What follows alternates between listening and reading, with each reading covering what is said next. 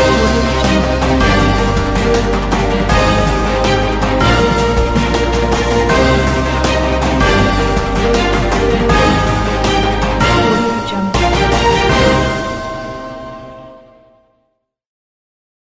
Guddiga ammaanka ee aqalka cad ee maraykanka ayaa taageero u muujiya xidhiidhka diblomaasiyadeed ee dhex maray somalilan iyo taiwan. Taiwan oo aaminsan inay ka gooday shiinaha balse aan weli helin aqoonsi caalami ah iyo somalilan oo sidoo kale weli raadinaysa in la aqoonsado ayaa yeesha xidhiidh diblomaasi. Waxaana tallaabadaasi ka hor yimid waddamada shiinaha iyo soomaaliya. Si kastaba guddiga ammaanka ee aqalka cad ee maraykanka ayaa soo dhoweeya xidhiidhka la sheegay inay yeesheen taiwan iyo somalilan waxayna ku bogaadiyeen qoraal ay soo dhigeen barta twitter-ka. Farxad weyn ayaannu u aragnaa in taiwan ay wakhtigan xoojinayso howlgalkeeda bariga afrika kuna soo beegtay wakhtiga baahida weyn ay jirtay. Taiwan waxaannu leenahay shuraako weyn oo xagga caafimaadka waxbarashada kaalmada farsamada iyo in kale oo ka badan ayaa lagu yidhi qoraalka ka soo baxay guddiga ammaanka ee aqalka cad. Wasiirka arrimaha dibadda ee taiwan ayaa ka dhawaajiyey inay xafiisyo isweydaarsan doonaan somalilan balse shiinuhu wuxuu weli aaminsan yahay in dhulkan. Uu weli isaga ka mid yahay islamarkaana ogolaan doonin kala qaybintiisa.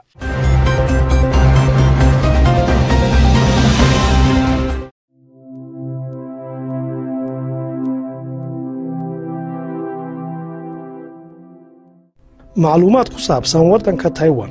Taiwan waa maamul ka kooban jasiirado oo dhaca koonfur bari ee waddanka shiinaha ama waqooyiga filibiin taiwan waxay ka mid tahay dalalka aan la aqoonsanayn balse waa dal ama maamul leh awood dhaqaale oo u sahashay wax walba oo ay u baahnaayeen.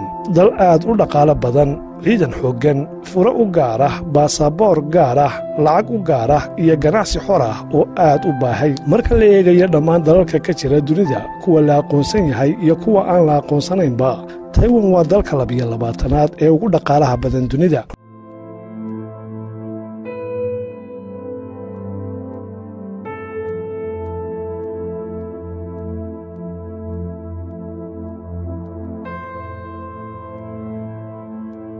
waxay ka dhaqaalo badan tahay dal walba oo dhaca qaaradda afrika.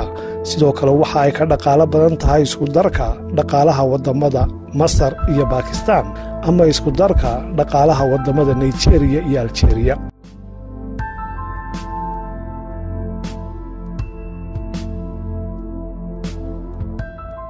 taiwan waa maamul aad u horumariyey dhanka tiknolojiyadda ganacsiga iyo sayniska. Waxa uu ka mid yahay maamullada ama dalalka ugu waxbarashada fiican dunida uguna amnisan tirada dadka waddanka ku nool taiwan waa ku dhowaad afar iyo labaatan milyan oo qof baaxaddiisuna waa lix iyo soddon kun oo kilomitir oo isku wareeg ah. Dhaqaalaha waddanka ama wax soo saarkiis waxa uu dhan yahay ku dhowaad lix boqol oo bilyan oo dollar. Dakhli sannadeedka soo gala qofka u dhashay waddankaasi waxa uu dhan yahay sagaal iyo afartan kun waana mid ka mid ah waddammada ugu qanisan dunida. Dadka waddanka dega boqolkiiba shan iyo sagaashan waa han biibol waa isla qoomiyadda shiinaha degta oo ah tan ugu ballaadhan dunida. Nidaamka waddanku waa dimuqraadi awoodda ugu sarraysa waxaa leh gabadha lagu magacaabo tashin wing oo ah madaxweynaha waddankaasi.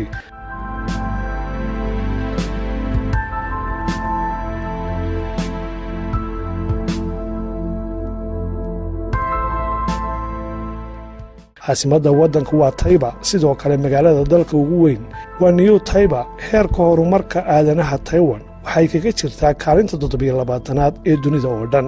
Baasaboorka waddanka waa mid lagu tegi karo bilaa fiise in ka badan boqol iyo afartan dal lacagta waddanka taiwan waxaa loo yaqaanaa new taiwan dollar dalkani maaha dal la aqoonsan yahay hal waddan ma aqoonsana balse heerkaas oo dhan waxa uu ku gaadhay dadaalka iyo shacabka dalkaas oo aad u horumariyey dalkooda. Shuruud walba oo looga baahan yahay dal raba aqoonsi waa ay buuxisay taiwan balse dalka uu ka go'ay waa shiinaha oo ah quwad awood weyn. Mana jiro dal raba inuu shiinaha isku diro xitaa maraykanka ayaan ku dhicin inuu aqoonsado taiwan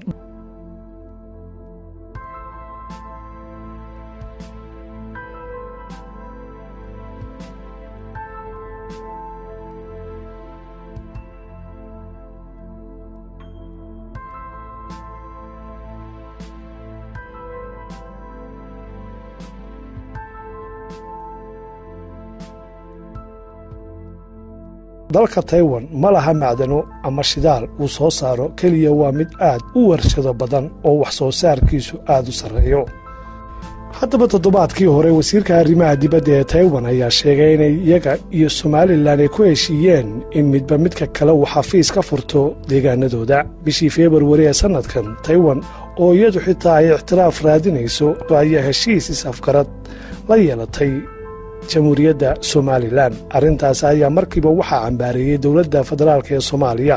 Shiinaha dhankiisu wuxuu boogaadiyey go'aanka dowladda soomaaliya ay ku cambaaraysay kulan. Dhowaan dhex maray madaxda taiwan iyo mas'uuliyiin ka socota jamhuuriyadda somalilan madaxtooyada soomaaliya ayaa dhowaan sheegtay inay muqdisho iyo bijiin ay dhowrayaan madax bannaanida iyo midnimada dhuleed ee labadooda dal. Kadib kulan uu madaxweynaha soomaaliya la qaatay safiirka shiinaha u fadhiya muqdisho jahwareer iyo khilaaf ayaa ka taagan waxay taiwan tahay iyo weliba wixii loogu yeedhi lahaa dal mise gobol ka tirsan shiinaha. Taiwan waa jasiirad leh wax walba oo madax bannaani ay ku heli karto tan iyo sannadkii kii balse shiinuhu wuxuu u aqoonsan yahay gobol ka mid ah dhulkiisa oo gooni isku taag doonaya waxaana lagu qasbayaa inay ka mid tahay shiinaha xitaa haddii xoog loo adeegsanayo. Shiinaha ayaa bilaabay inuu sheegto taiwan in ay dhulkiisa qayb ka tahay sannadkii wixii ka dambeeyey dagaalkii sokeeye ee shiinaha. Xilligaasi waxay ahayd markii laga adkaaday dowladdii waddaniyiinta ee shiinaha oo kadibna u qaxay jasiiradda waxaana awoodda la wareegay xukuumaddii shuuciyiinta ee uu hogaaminayey mo sindong. Daafaha caalamka in ka yar labaatan dal ayaa hadda taiwan u aqoonsan waddan madax bannaan sannadkii kii dalka jamhuuriyadda dominik ayaa dhanka shiinaha u wareegtay. Waa saamaynta dunida taiwanna taageero ayay sii luminaysay ayuu yidhi nin arrimaha caalamka ka faallooda oo lagu magacaabo khaan maxamed dadka qaar waxa ay sheegeen inay taageerada ay taiwan lumisay ay sababtay in dal ahaan looga aqoonsan waayo caalamka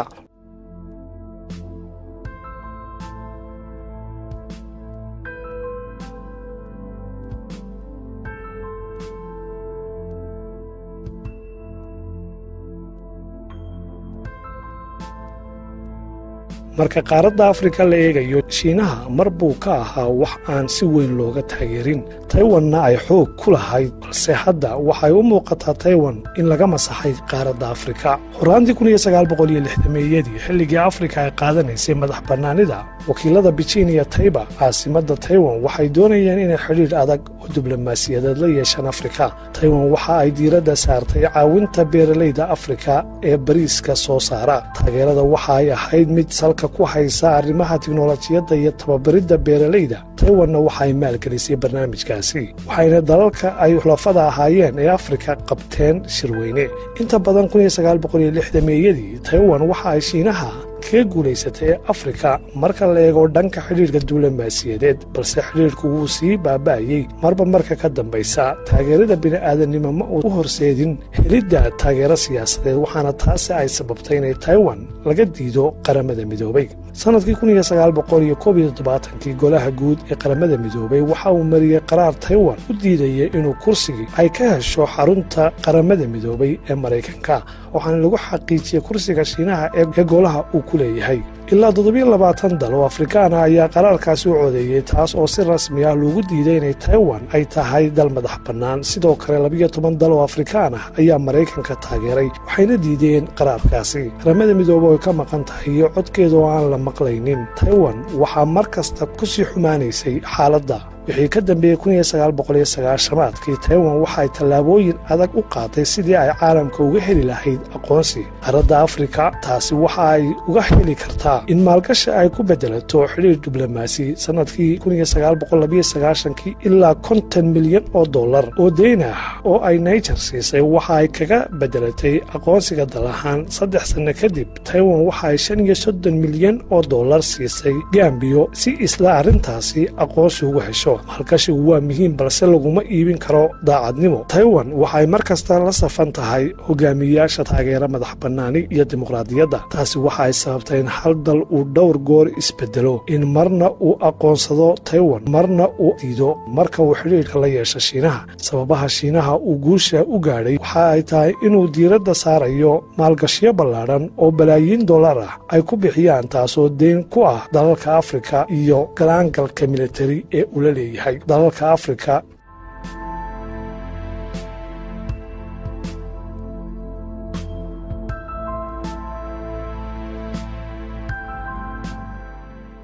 shiinaha ayaa ku adkaysanaya in waddamada caalamku aysan xidhiir diblomaasiyadeed toos ah uusan ka dhexayn karin taiwan taasoo keentay in xidhiirka taiwan ee caalamku uu soo koobmo. Maraykanka ayaa saaxiibka ugu muhiimsan iyo difaaca taiwan iyada oo godoon ku jirta taiwan waxay door fiican ka qaadatay kobaca dhaqaalaha aasiya waxayna ka mid noqotay kuwa ugu sarreeya dunida ee soo saara kombiyuutarada taiwan kursi kuma lahan qaramada midoobay waxayse kursigeeda ku weyday shiinaha oo sannadkii kii meesha buuxiyey dadaalo badan oo ay u gashay in ay dib u hesho kadib waa ay ku guuldaraysatay bilowgii kii taiwan waxay isku beddeshay dimuqraadi. Xukuumaddii xilka haysayna wuxuu wakhtigeedii dhammaaday sannadkii labadii kun markaasoo doorashadii madaxweynaha ee la qabtay lagu soo doortay shiin shuwa bin oo ahaa xisbiga mucaaridka dimuqraadiga. Kadib tobaneeyo sanno oo labada dhinac ay u dhexaysay xiisad aad u daran xidhiirka shiinaha iyo taiwan wuxuu bilaabay inuu soo hagaago dhowaanahan. Shiinaha ayaa keenay hannaan cusub oo taiwan u saamaxaya inay noqoto maamul goboleed. Waa haddii ay aqbasho midowga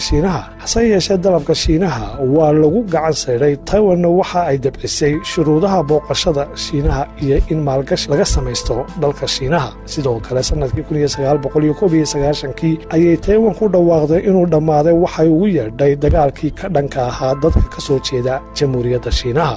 Xukuumadda bejiin ayaa soo baraarugtay sannadihii labadii kun kadib markii madaxweynenimo loo doortay shiyan shuubin oo si bareedh oo cad u taageeri jiray madax bannaanida taiwan. Sannadkii labada kun iyo sideedii waxaa madaxweynaha loo doortay maanyingjo oo wacad ku maray inay wanaajin doonaan xidhiirka taiwan iyo shiinaha ka dhexeeya gaar ahaana ganacsiga. Doorashadii halkaasi ka dhacday laba kun iyo lix iyo tobankii waxaa madaxweynenimo loo doortay teshi ing win oo ka soo jeeda xisbiga dimuqraadiga oo doonaysay in ay taiwan madax bannaani hesho